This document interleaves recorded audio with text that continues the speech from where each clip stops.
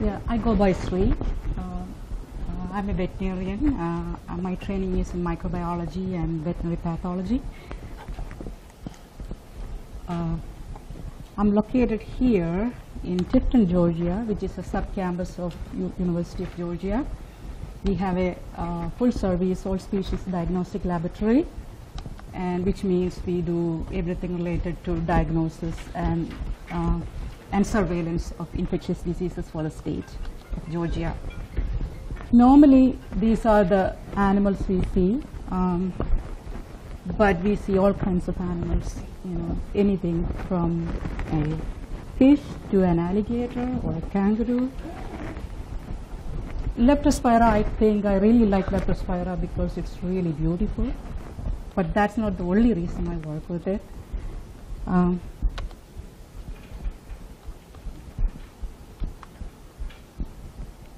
when I started my career as a veterinary diagnostician, um, it was very, very difficult to diagnose leptospirosis. All the diagnostic tests available, it was challenging, and the disease is very challenging because of the wide spectrum. And the diagnostic tests, as Albert said, they, they are. We don't have very good diagnostic tests. So, anyway, what I learned, you know, when John Prescott, he wrote a book review about leptospirosis. So he said, okay, most leptospirologists die mad because of the complexity of the organism.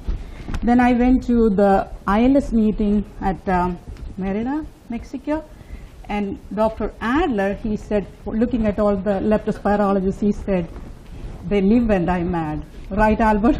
Do you remember that? Unfortunately. so it, it is very, very complex disease. I'm, I'm not going to ch- touch any on. In companion animals, just like humans, uh, it's a sporadic, permanent illness leading to complications such as renal and hepatic failure. And it's most com- commonly reported in dogs. And there are occasional cases in cats. Cats are uh, resistant to leptospirosis. In livestock, it's mainly a disease of production and reproduction.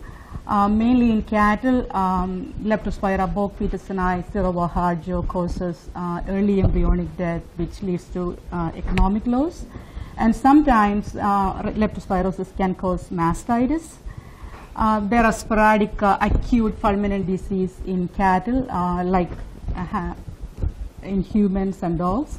And horses, most cases, are abortion storms uh, due to septicemia or leptospiral infection. And the recurrent uveitis is another problem uh, seen in horses.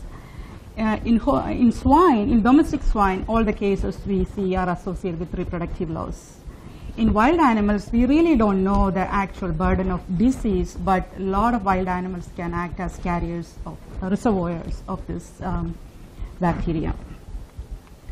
So over 250 serovars, 24 serogroups, and approximately 20 species, and we have unlimited reservoir animals and environmental maintenance of this organism. Makes it really, really complicated to understand and um, implement any kind of control measures in animal so if somebody asks me about a disease who, where this one health problem could be applied to, I would say it's leptospirosis because it can affect uh, humans, companion animals, livestock, wild animals, everything, and they circulate among all these species.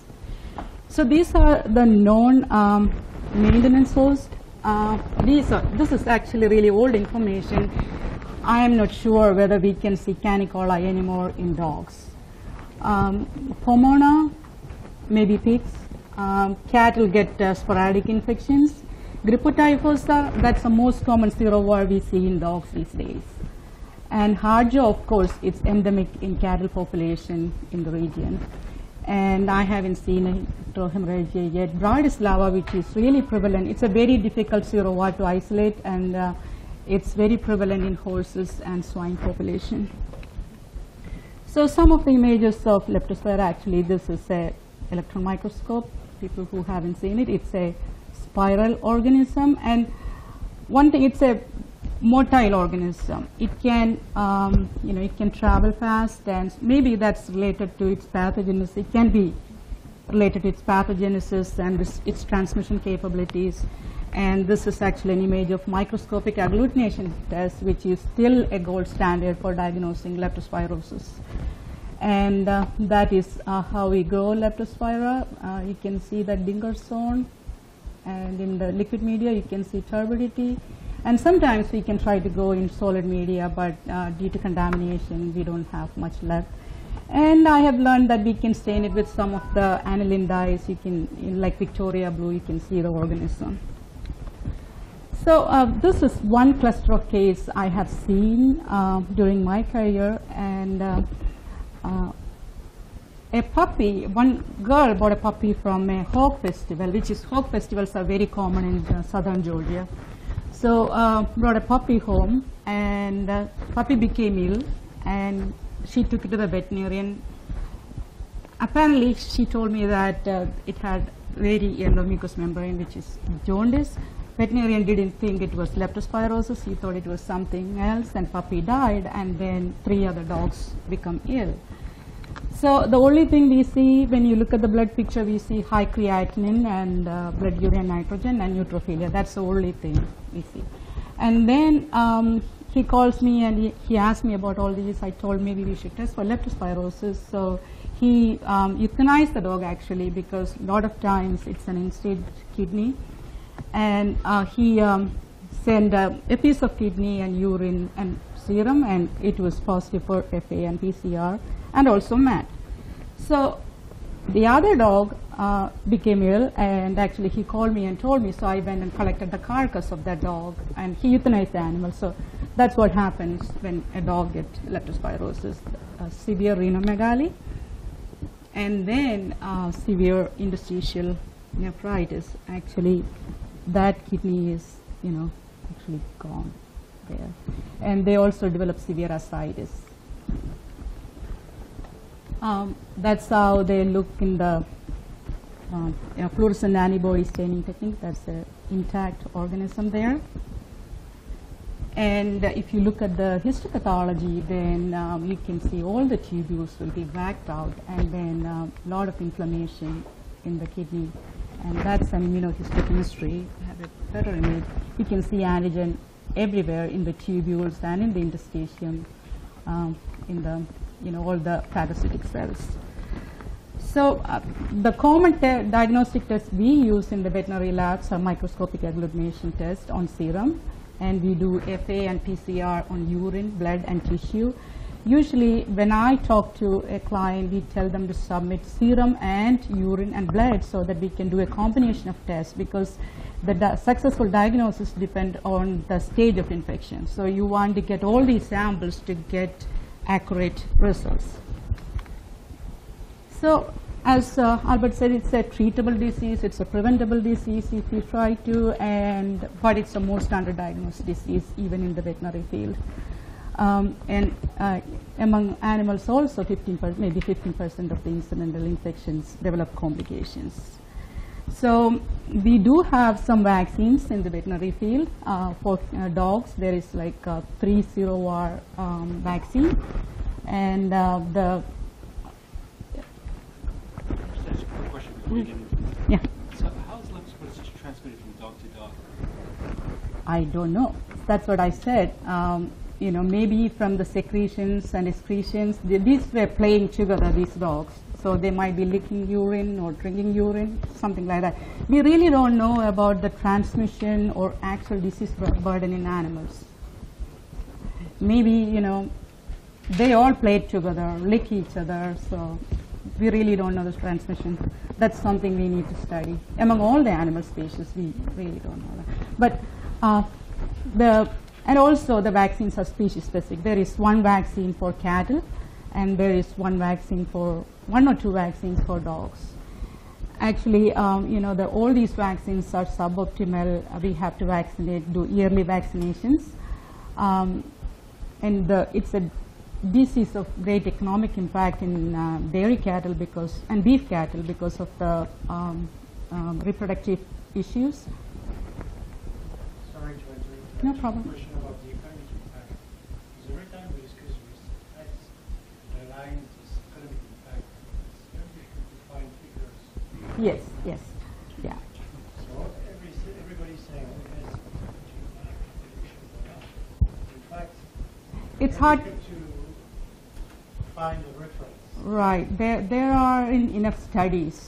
to find the actual ec- economic impact of uh, animal leptospirosis, especially in the cattle population.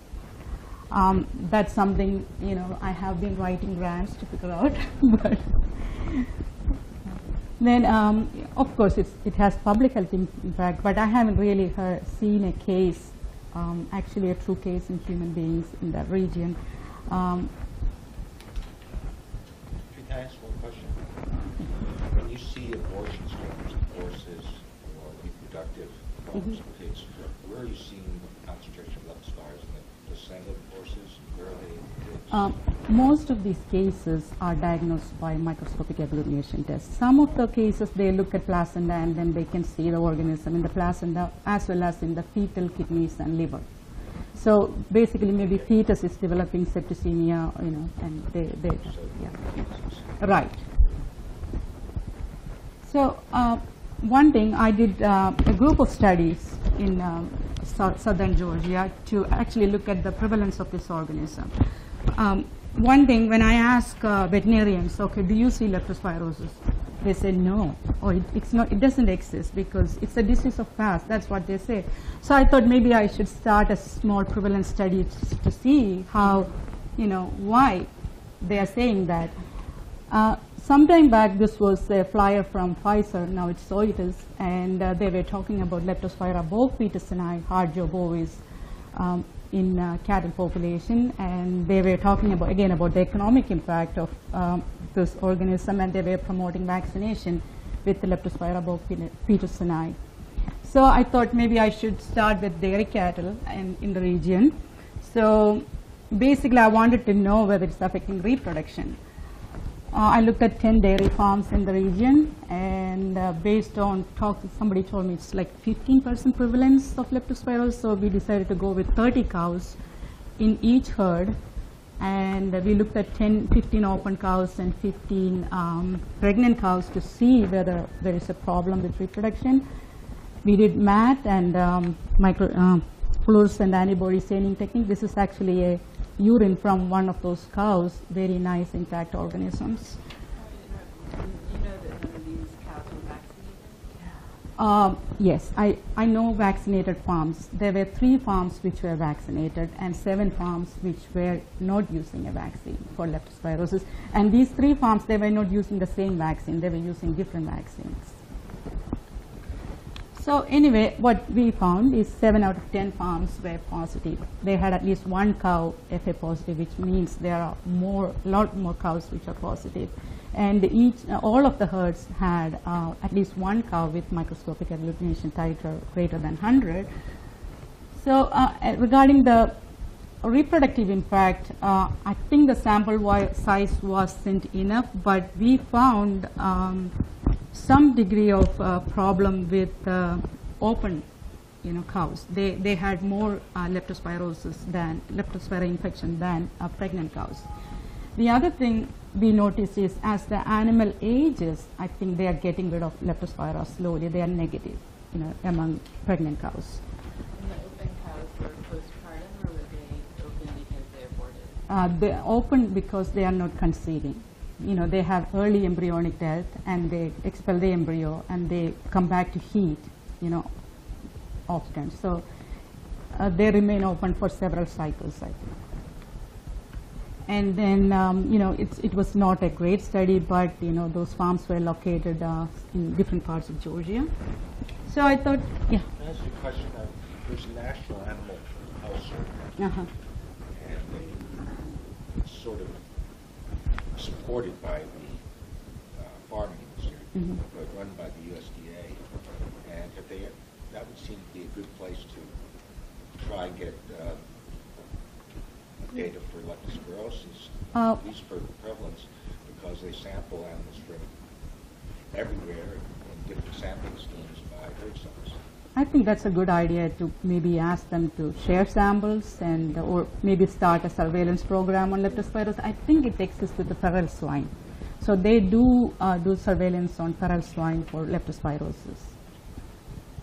Yeah, that's, that's an excellent idea. I think they, I don't know if, if you know that, but it's very systematic sampling representative, and, and they do this one uh, every, you know, every number of years. It will be great. I think it's, it's again, just like as we deal with lepto on the public health side, right, it's priority. No, You know, if, it's if, yeah, not if it has all these reproductive effects, I think they want to know. Uh, And also, it's because also ma- vaccination, you know, uh, it's, it's common practice, so it will kind of make things complicated in terms of interpretation. But And also they have priority diseases. Oh, That's one they, they want to look for, you know. We tried to get Coxiella burnetii on Right, right. listed. It's, No if you look at, wants to touch that. because it's in all, in all the milks, right? If you- So, correct me if I'm wrong, but leptospirosis is not a reportable disease here in the United States. No, eh, I think it's becoming a reportable disease in humans now, right? No, no, no, but in animals. No, in no, no.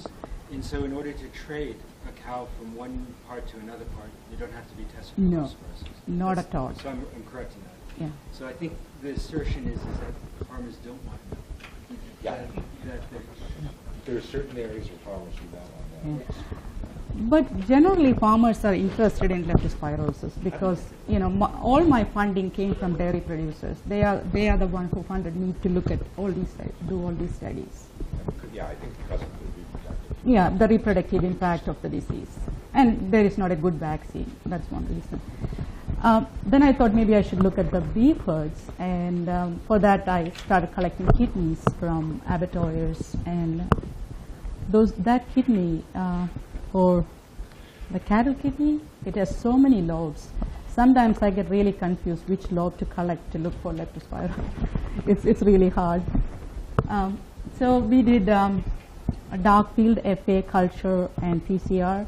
Basically, I collected one to two kidneys per week to process it carefully so that I can isolate the organism because it's really hard to isolate leptospira. Um, so uh, this is the result. And uh, dark field and DFA, I don't, uh, I don't know how specific they are, uh, but PCR and culture, very specific. And I had 11 PCR positive, and um actually I have now four isolates from um, herds. And all of them turned out to be Leptospira petersoni Hardjo bovis. Um, also, I put one of the isolate in the hamsters, and this strain is not very virulent. It doesn't kill hamsters. Uh, I did 10 to the 7 organism, and it just went and sat in the kidneys and produced all these tubular necrosis and interstitial nephritis. So next uh, study I undertook, okay, maybe I should look into other animal population to see whether there is seroprevalence because I don't have any, you know, um, I can get any kidneys from these animals. So I started looking at the serum from different groups of animals. Horses, uh, we get large number of serum for testing for e- equine infectious anemia. So I took all those serums. The- These are normal horses. And canine, uh, we get um, serum from sick animals to do the clin- clinical pathology testing. And domestic and feral swine, we do some regulatory surveillance testing for brucellosis and pseudorabies. So I took some samples from that lot, and cats also from the uh, um, clinical pathology section. So mm I, I see quite a good seroprevalence in animal population, and the horses had the highest, followed by feral swine and uh, domestic swine and uh, ca- um, canines. I saw only very background titers in cats. Um, also, when I looked at the and horses are not vaccinated for leptospira, so there is not a horse vaccine. We see very high prevalence for um, Bratislava. That's titers above 100. This covers that. But this one, I took all the animals with titers above 400. Um, you know, I think above 400 is a significant exposure titer. So, you know, a large number of animals had, uh, you know, some animals had Bratislava um, titers above 400. So uh, it, it is um, prevalent, you know, the exposure is at least prevalent in horse population. And feral swine, again, same thing, Bratislava is the most uh, uh, prevalent serovar. Same thing uh, with domestic swine, um, again, Bratislava. Dogs, I'm not sure how good is this data because some of the dogs are vaccinated with leptospira vaccine. Um, you see, here, this, this is included in the vaccine, that is included in the vaccine, and also grippotyphosa is included in the vaccine. But one, one case uh, from this group, it had a very, very high titer, around 3600. So I went back and looked at the case history of this particular case, and it was submitted for, um, it, it had PUPD, which means it had renal, some kind of renal problem. So the veterinarian thought it might be endocrine disorder, so they submitted for adrenal testing. So actually it was probably a recovered animal, leptospirosis recovered animal. So it had renal problems, chronic renal problems. Cats, I don't know how good is this, but uh, you know they had only background titers. But um, so it's widely distributed, and these blue areas are the places where they hold feral swine. They catch it from different parts of the state and bring it to these holding facilities, and uh, they test it for um, brucella and PRV, and then take it to hunting areas to for uh, recreation, recreational hunting. So when you look at the map of Georgia, you know this is this is actually the poverty belt, and uh, you know it's leptospirosis is distributed. The seroprevalence you can see all over Georgia, but it's a very very small study. And again, uh, I thought maybe I should look at some wild animals too. Um, so I asked a licensed trapper to submit the carcasses he has, um, he captures. So I looked at uh, few, very few animals, and they were also positive. And one of these opossum has a, had a really bad, bad kidney with severe interstitial nephritis and tubular necrosis. And probably that's the best silver stained leptospira I ever have seen. So in the, this region, really, we have a subtropical climate, a very high annual precipitation rate, and about 80,000 ponds in that region. You know, a lot of water. Kids play in the water, and people do a lot of recreation activities. And uh, we have a high density of animal agriculture and a very rich wild animal population. And we have a very large uh, field crop, crop industry and ecotourism. We have so many swamps such as Okefenokee and all those, and people do water recre- related recreational activities very often. And uh, these are some of the reports came out recently uh, about a spike in um, canine leptospirosis in Florida. It was uh, maybe a month back, and so I, I really think it's um, uh, leptospira is endemic in uh, animal populations in our region. I think uh, we need uh, better studies. So we have abundant res- oh, reservoir host, right environment, and you know which will favor continued replication and maintenance of the organism. And we have susceptible population, and you know that's enough to cause disease. So I really think uh, the reason I'm here, I'm not a modeler, I'm not a mathematician. I would like to, you know, probably develop more studies in the region to look at the transmission cycles and, you know, prevalence and the disease spectrum in animals in the region.